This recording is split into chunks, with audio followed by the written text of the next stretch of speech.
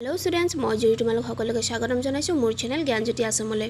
চ' আজি আমি ষ্টাৰ্ট কৰিম ক্লাছ নাইনৰ অনুশীলনী ছেভেন পইণ্ট ফ'ৰ চ' তাৰ কাৰণে আমাৰ কি কি উপপাদ্য দৰকাৰ হ'ব সেই উপপাদ্যকেইটা প্ৰথমতে চাই লওঁ। চ' লেট ষ্টাৰ্ট চ' প্ৰথম উপপাদ্যটো আমাক দিয়া আছে যদি এটা ত্ৰিভুজৰ দুটা বাহু অসমান হয় তেন্তে দীৰ্ঘতম বাহুটোৰ বিপৰীত কোণটো সদায় ডাঙৰ?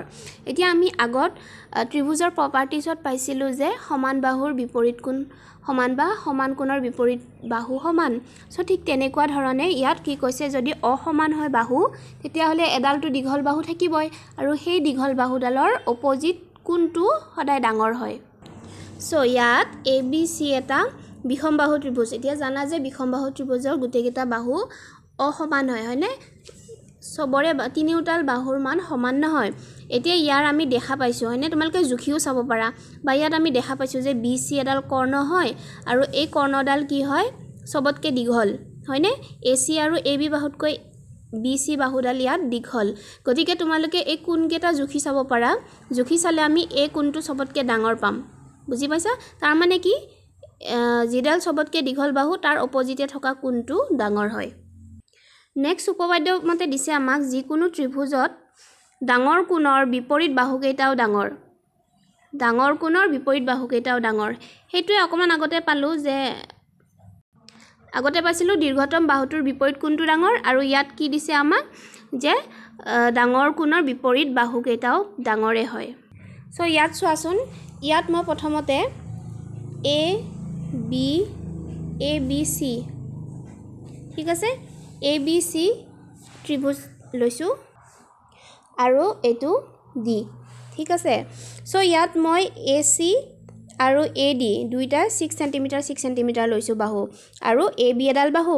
এতিয়া ইয়াত এ চি এডাল এনেকৈ আকোঁতে এই কোণটো উৎপন্ন হ'ল? এইডাল কৰ্ণ। ঠিক আছে? এ বি চি ত্ৰিভুজটোৰ বি চিডাল কৰ্ণ হয়। ঠিক আছেনে? তাৰপিছত যেতিয়া এৰ পৰা ডিৰ ফালে আঁকিলোঁ বাহুডাল ছয় চেণ্টিমিটাৰ আঁকিলোঁ তেতিয়া ইয়াত ডি বি বাহুডাল কৰ্ণ হ'ল। ইয়াত এডাল কৰ্ণ ব্লেক কালাৰৰ এডাল কৰ্ণ আৰু এ বি ডিত এডাল কৰ্ণ হ'ল। ঠিক আছে?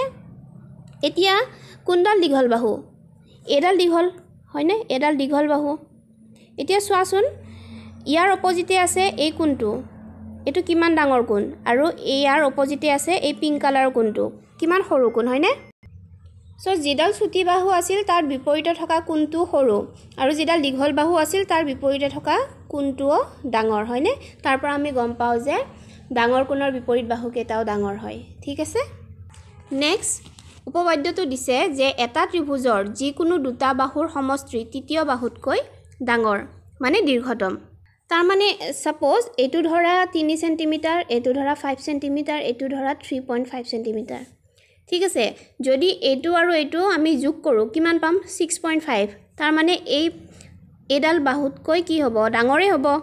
যদি এই দুটা আমি যোগ কৰোঁ কিমান পাম? এইট পইণ্ট ফাইভ তাৰমানে এই এইটোৰ জোখ তিনিহে আছিলে। ইডালতকৈ এই দুটাৰ জোখ দীঘল হ'ব। হয়নে? চ' দুডাল বাহু যদি আমি যোগ কৰোঁ তাৰ লেন্থটো দীঘলটো যিমান চেণ্টিমিটাৰ পাম তিনি নম্বৰ বাহুডালতকৈ সদায় সেইটো দীঘলেই হ'ব। এইটো আছিলে তিনি নম্বৰ উপপাদ্য। এতিয়া আমি অনুশীলনীৰ অংকলৈ যাম। চ' ফাৰ্ষ্ট কুৱেশ্যনটোত কৈছে যে দেখুওৱা যে সমকোণী ত্ৰিভুজৰ ক্ষেত্ৰত কৰ্ণই হ'ল দীঘ দীৰ্ঘতম বাহু। কৰ্ণডালে আটাইতকৈ দীঘল বাহু বুলি আমি প্ৰমাণ কৰিব লাগে। চ' ইয়াত চোৱা মই এ বি চি এটা সমকোণী ত্ৰিভুজ লৈছোঁ ধৰা হ'ল এ বি চি এটা সমকোণী ত্ৰিভুজ য'ত বি কোণটো নব্বৈ ডিগ্ৰী। এতিয়া আমি আগতে ত্ৰিভুজৰ প্ৰপাৰ্টিজ মতে পাইছিলোঁ। এটা ত্ৰিভুজৰ তিনিটা কোণৰ যোগফল সমষ্টি যোগফল বা সমষ্টি এশ আশী ডিগ্ৰী। চ' কোণ এ কোণ বি কোণ চি এই তিনিটা যদি যোগ কৰোঁ আমি এশ আশী ডিগ্ৰী পাওঁ হয়নে? এতিয়া বি কোণটোৰ মান নব্বৈ ডিগ্ৰী পাইছোঁ। চ' এ যোগ নাইণ্টি যোগ A C equal to one eighty এতিয়া এ আৰু চিৰ মানটো আমি নাই পোৱা। চ' এ এই সমীকৰণটোৰ পৰা এ যোগ চি সমান কিমান পাওঁ? নব্বৈ ডিগ্ৰী পাওঁ হয়নে? নব্বৈটো ইফালে আহিলে এশ আশীৰ পৰা বিয়োগ হ'ব বিয়োগ কৰি আমি নব্বৈ পাওঁ। তাৰমানে কোন এ আৰু কোন চি কোণৰ যোগফল নব্বৈ। বুজি পাইছা? এ আৰু চি কোণৰ যোগফলহে নব্বৈ। তাৰমানে নব্বৈতকৈ সৰু হয় এ এ আৰু চি কোণ দুটা। তাৰমানে এ আৰু চি দুয়োটাই সূক্ষ্ম কোণ। আৰু যদি এ আৰু চি দুয়োটা কোণে সূক্ষ্ম কোণ হয় তেতিয়াহ'লে বিটো নাইণ্টি ডিগ্ৰী যদি হয় তেতিয়াহ'লে বিটো আটাইতকৈ ডাঙৰ কোণ। হয়নে? এই ত্ৰিভুজটোৰ যদি এই দুটা কোণ যোগ কৰি আমি নব্বৈয়ে পাওঁ তেতিয়াহ'লে এ আৰু চি কোণটো সূক্ষ্ম কোণ হ'ব লাগিব আৰু বি কোণটো যিহেতু নাইণ্টি ডিগ্ৰী তেতিয়াহ'লে এইটো বৃহৎ কোণ হ'ব। তাৰমানে এংগল বিটো এতকৈ ডাঙৰ এংগল বিটো চিতকৈও ডাঙৰ। এতিয়া বিৰ অপজিতে কি বাহু আছে? A C. আৰু এৰ অপজিতে আছে বি চি হয়নে?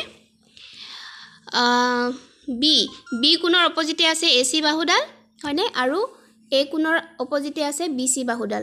চ' ইয়াত বি কোণৰ ঠাইত এ চি লিখিলোঁ এ কোণৰ ঠাইত বি চি। ত' ঠিক তেনেকৈ ইয়াত বিৰ ঠাইত এ চি আৰু চি কোণৰ অপজিতে থাকে এ বি বাহুডাল। হয়নে? এতিয়া আমি ইয়াৰ পৰা কি পালোঁ? বি চি আৰু এ বিতকৈ এ চি বাহুডাল ডাঙৰ হয়নে? অৰ্থাৎ এ চি কৰ্ণডাল বি চি আৰু এ বিতকৈ ডাঙৰ। তাৰমানে আমি ক'ব পাৰোঁ কি এতেকে এ বি চি সমকোণী ত্ৰিভুজৰ। এ চিয়ে হ'ল এ চি কৰ্ণডালেই হ'ল দীৰ্ঘতম বাহু। হ'লনে এইটোৱে হ'ল প্ৰমাণ। এইটো কুৱেশ্যন নম্বৰ ওৱানৰ চলিউশ্যন তোমালোকে কপিত পাতি ল'বা। ইয়াৰ পিছৰ ভিডিঅ'টোত আমি ইয়াৰ পিছৰ কুৱেশ্যনকেইটা ছল্ভ কৰি দেখাম মই। চ' তাৰ কাৰণে চেনেলটো ছাবস্ক্ৰাইব কৰি থ'বা। Thank U